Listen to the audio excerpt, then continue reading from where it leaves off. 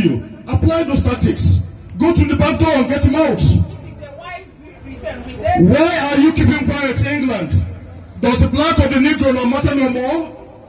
No! Does the black of the Negro no matter no more? No. Does the, the blood of Israelites matter no more? No. Does the blood of Hebrews matter no more? No. Make no mistake, Britain, we know who we are. We know that you went to the League of Nations in 1919 to claim our identity. Yes. You submitted an application claiming that you are the lost tribe of Israel. We know who we are. Make no mistake about it. Our resolve is very simple. Biafra or nothing else. Our resolve is very simple.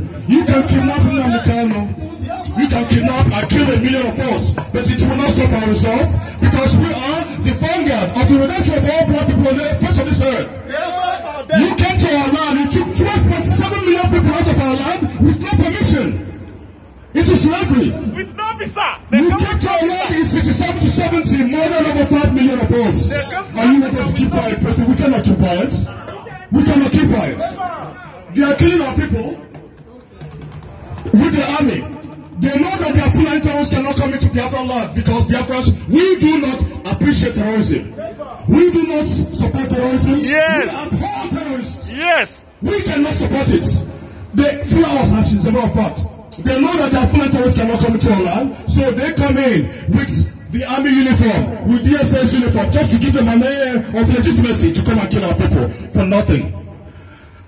Last week, last week, their government reported hundreds of Boko Haram terrorists put into the army.